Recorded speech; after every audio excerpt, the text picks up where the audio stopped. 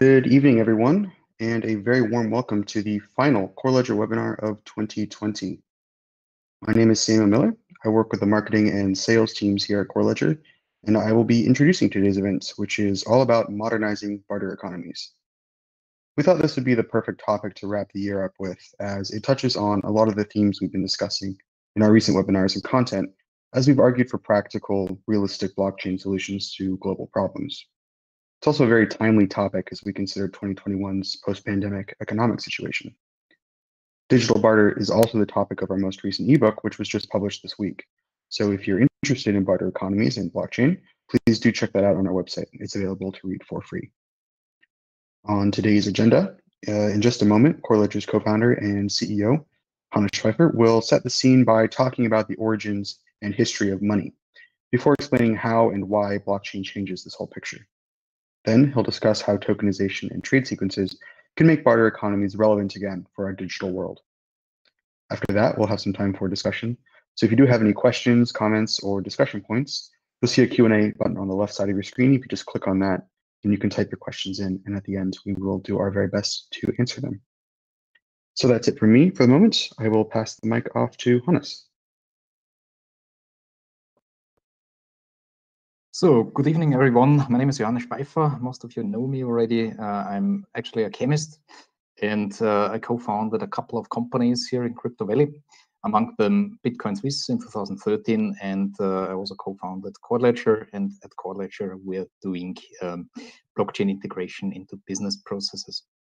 And yes, I'm occasionally writing uh, articles or ebooks or um, different um, opinion pieces about uh, blockchain relevant topics. And one of them is absolutely my field of profession, which is uh, honestly uh, in the area of alchemist, modern alchemistic methods, which is an alchemist's guide to digital barter. So today's webinar will be mostly about this topic and uh, actually how blockchain can assist with solving uh, centuries or even thousand years old problem.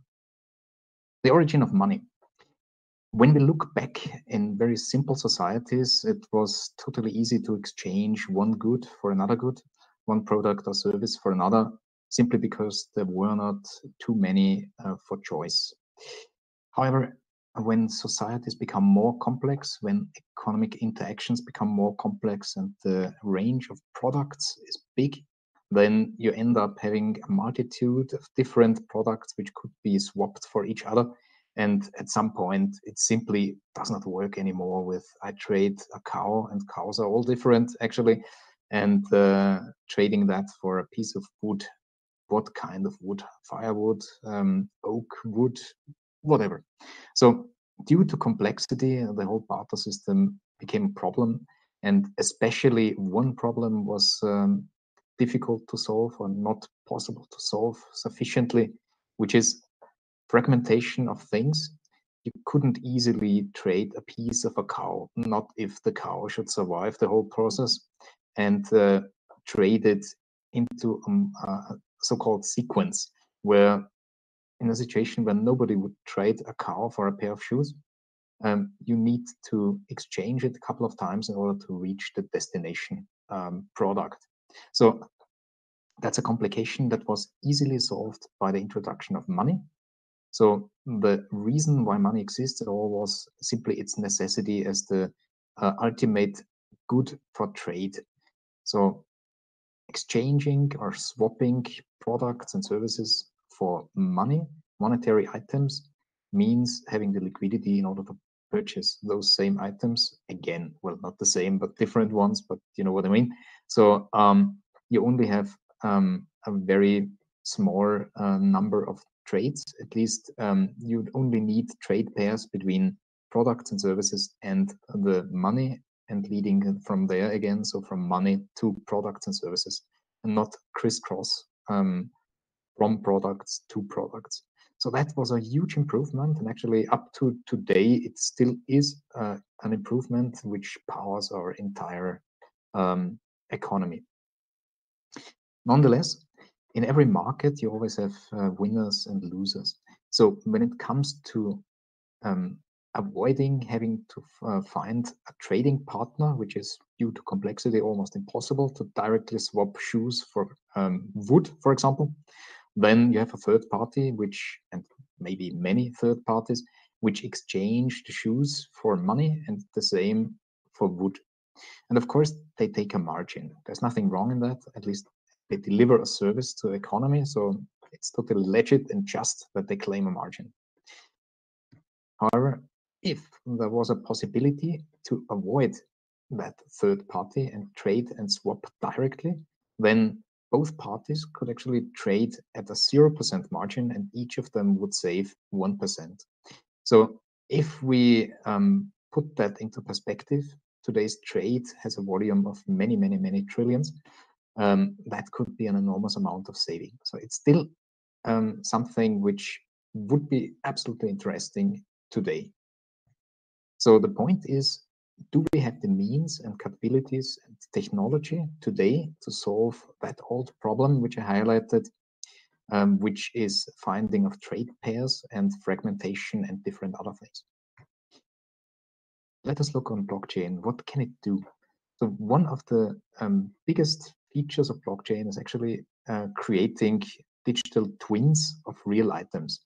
These digital twins we call tokens, and that is nothing more than just an IOU. So it's a, a, claim, a digital claim to something physical, tangible, or maybe intangible, like a patent or whatever. So it can be anything. The token, however, is the claim to the real world item. It definitely solves the problem of tokenization and fragmentation. So if you have a cow, the cow could survive and the fragmentation because the fragmentation is just a, um, a non-physical logical representation on blockchain in the form of token. You can fragment it into two, three, four, five thousand millions of pieces. It doesn't matter. And it certainly doesn't affect the cow. And there is another feature, um, probably the most important one, which is not possible in the in the real world, but it is on blockchain, which is the so-called atomic swap.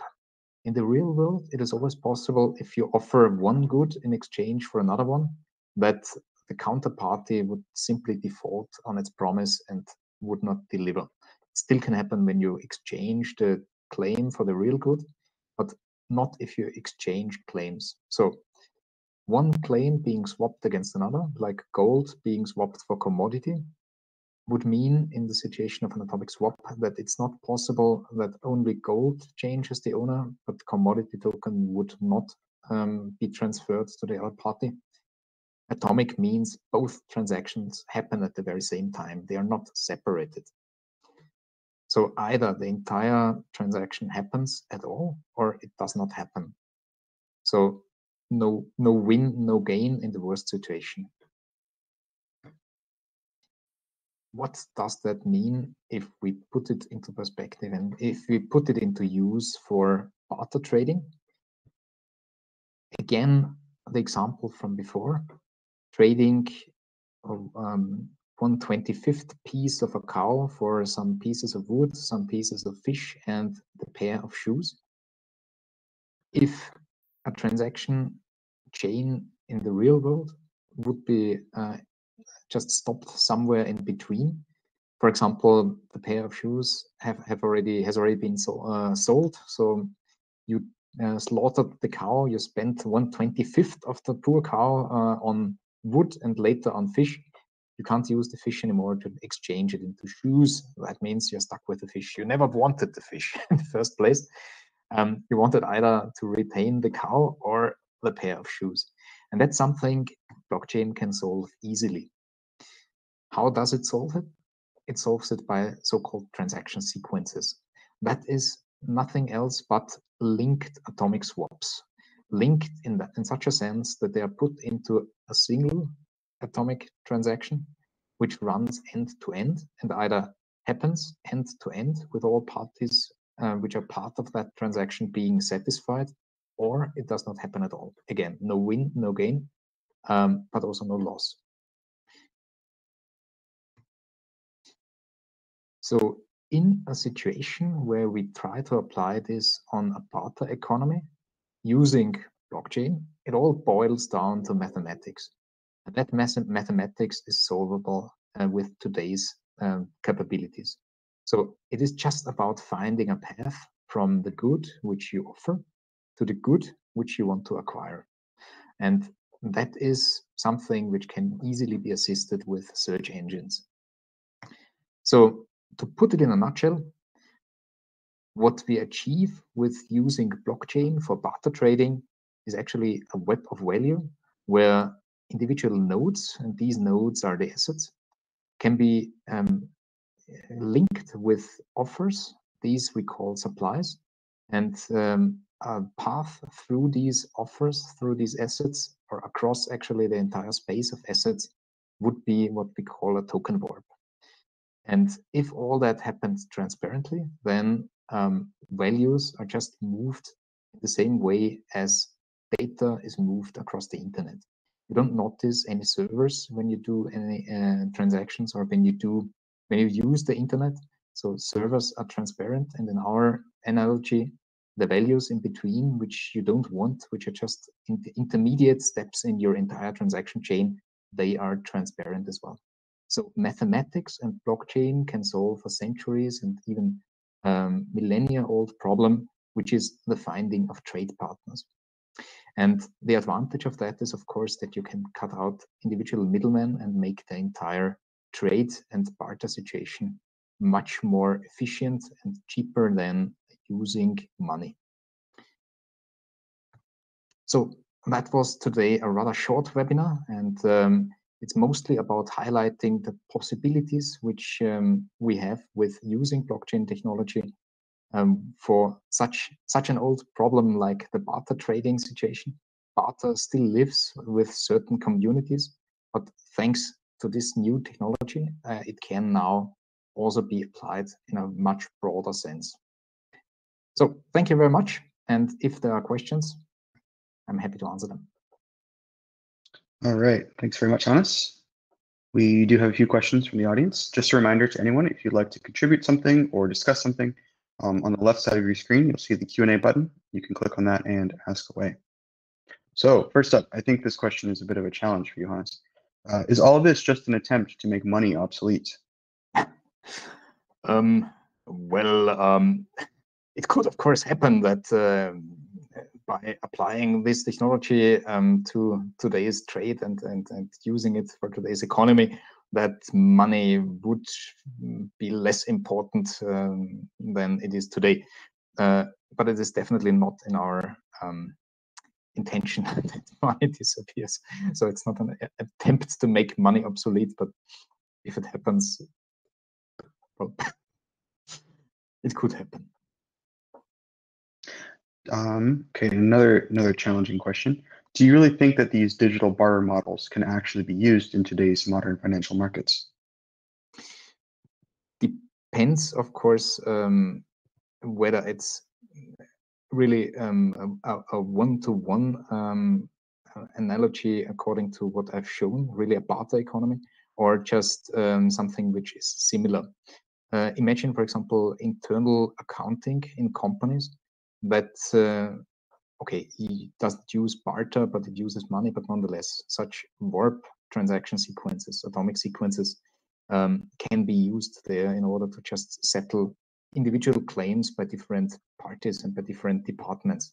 So for that, um, the barter, which just a single um, uh, good, some monetary value can be applied. But of course, um, there are um, um, countries which have a very dire economic situation right now, and there barter really happens.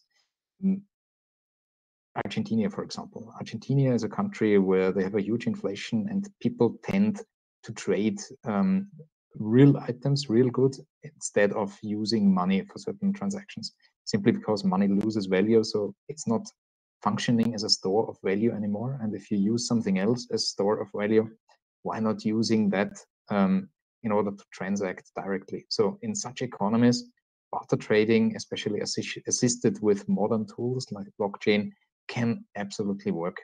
So that's an example. Furthermore, um, barter is not extinct, not at all. So it's not some relic from the medieval past. it still exists in many, many, many countries. Only in uh, Western civilization um, we have become used to money, but uh, um, Latin America, Africa, there are still many communities just bartering. And again, new technology and new tools uh, could help to make that more efficient and um, also um, jump across borders or um, uh, just remove boundaries which otherwise exist. So what happens if tokens are fraudulent and aren't actually backed by anything? That is a good question. I could play that back and ask what happens if the, the alleged gold, which is somewhere in Fort Knox, is not actually there. so the very same happens. Um, if a claim is not backed by anything, then that's of course fraudulent. Blockchain cannot change anything with that. It can of course assist with adding um, documentation to it, adding third-party certification that some assets exist.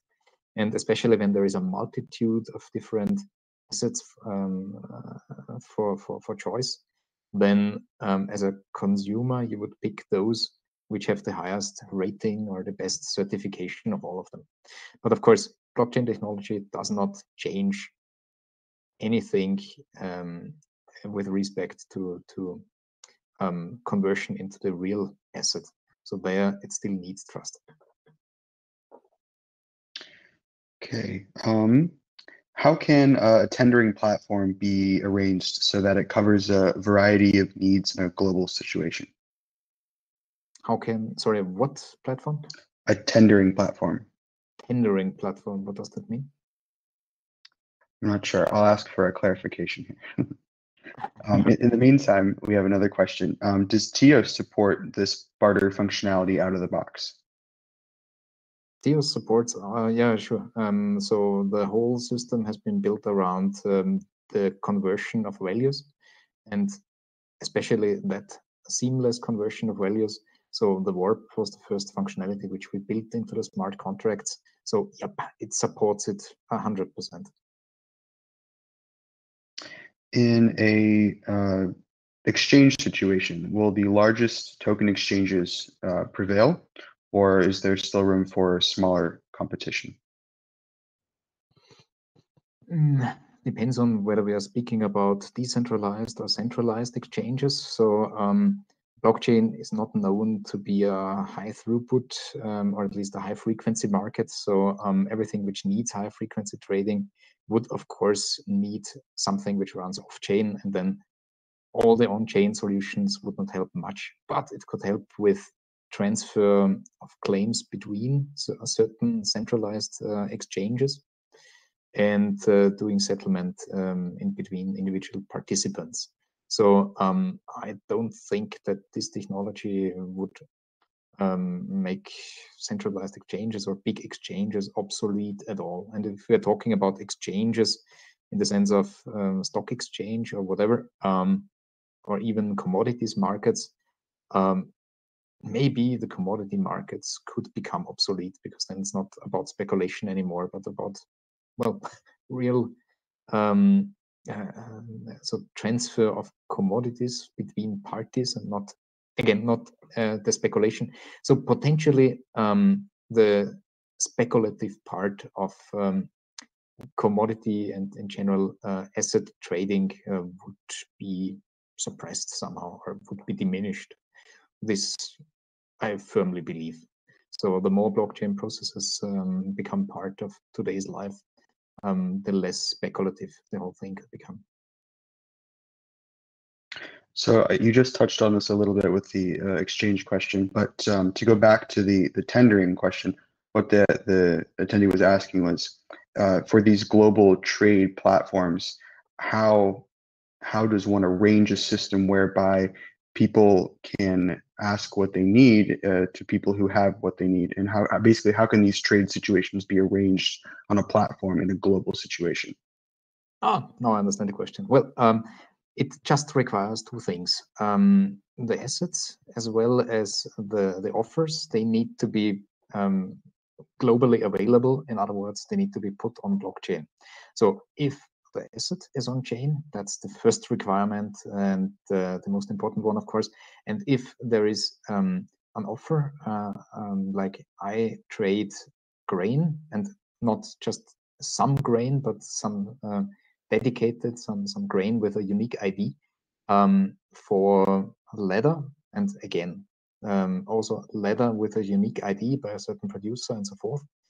Um, then, and if that exists on chain, then a search engine can find uh, just paths from um, this trade to wherever it, it should lead me. So um, it's only about data availability. And if that's globally available, then that's the solution to that uh, or the answer to that question. So anybody can basically participate in that market by just creating assets and uh, creating such offers.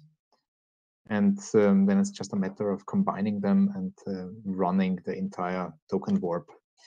Um, since everything is on chain, there is no possibility that there is any cheat in the transaction or um, that you get stuck as I've shown before. So either it runs or it does not.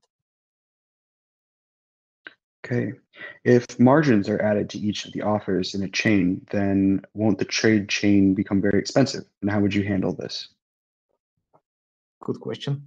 Um, in general, by using such a system, you save on the margin uh, which is claimed by the third party. So uh, removing the third party out of the equation already means saving, as I've shown before.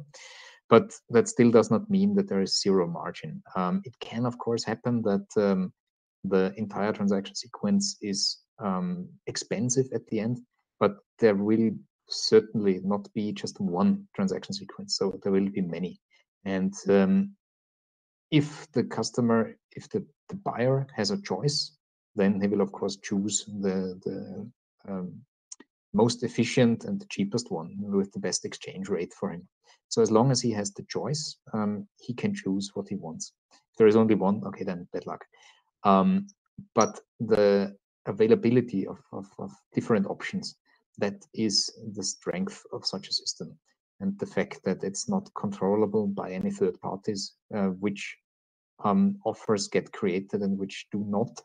So anybody who um, would try to corner the market by shorting something, um, well, um, could face a certain difficulty because well, we are talking about a decentralized market and not a centralized any, anymore. So um, uh, to put it in a nutshell, so it can happen that uh, margins are added up and the end result in the conversion rate is highly unfavorable, favorable, but it could also happen that due to the multitude of different offers, that's a question of liquidity, um, there will always be um, a, a, an exchange rate which is at near 0% margin. Okay. Is there any compatibility between a digital barter economy and an existing uh, credit system? For example, tokenizing credit and then exchanging it for a, a physical good? there is the possibility to um, just exist alongside each other, of course. Um, so um, tokenized credit could also be part of the barter system. So there is no um, no rule which prohibits um, traditional financial instruments from not being part of the very same platform. So barter is just an extreme example of um, avoiding money altogether. But if you put also money into that equation, then why not? So it can it can exist in parallel with each other. It can be even be merged with each other. So um, imagine the transaction sequence which which I've shown and put um, some some financial instruments uh, instruments somewhere in between, like conversion from wood into shares of a certain company.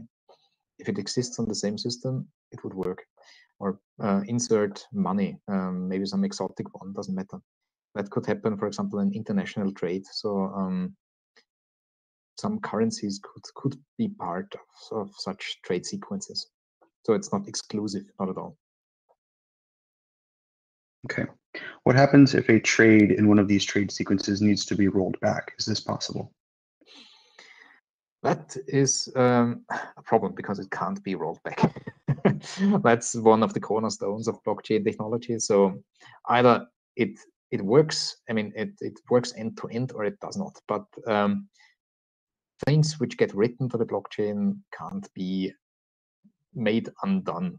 So if one transaction or one um, exchange, which is part of an atomic sequence of trades, um, needs to be rolled back, then hmm, it can be done um, bilaterally, but uh, not for all parties, because uh, one of the uh, real and, and, and, and uh, most solid pillars of, of blockchain, let's call it the unwritten law, is that you shall never take tokens from an address for which you don't have the private key unless those tokens have been offered, I don't know, somehow, somehow through a decentralized or other market, because um, that means um, just violating um, the the not privacy, but what I want to say. Um, um, only if you are the owner of the private key, um, you shall be able to to um, send uh, tokens or values uh, from your address to some other address. So if a transaction needs to be rolled back for many parties, then uh, either all these parties agree on that, but that's kind of unlikely.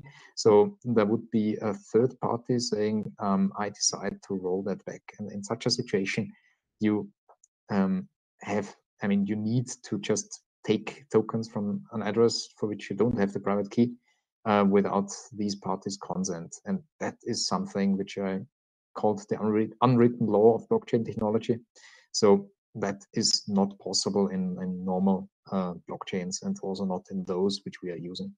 So a transaction once being committed or rather once being confirmed um, can't be rolled back. All right. Is anyone already doing this with blockchain? Is, is there any sort of large scale barter economy that's run on blockchain at the moment? Um, we are starting individual projects in certain countries right at the moment and playing uh, through various use cases. So um, at the moment, I'm not aware of any large scale barter project on blockchain, but um, stay tuned with us on LinkedIn and then you might hear from the one or the other in the quite near future. All right, thank you. I think that's all the questions we have for today. Um, I want to thank you all again for joining us. If you do have any more questions or if you'd like to get in touch with us, you can either write to us or schedule a call through our website, and we'd love to hear from you. As always, we're also on social media, so please do follow us on LinkedIn, Facebook, Twitter, and Medium, and also on YouTube, where you'll find a recording of this webinar in case you want to refer back, as well as past webinars. And as I mentioned at the beginning, we also have a newly published and free to read ebook on the topic of digital barter. So that's it for today and for the year. So from all of us at Core Ledger, hope you have a healthy holiday season, and we look forward to seeing you at the next webinar in January. Good evening. Thank you very much. Stay healthy. Goodbye.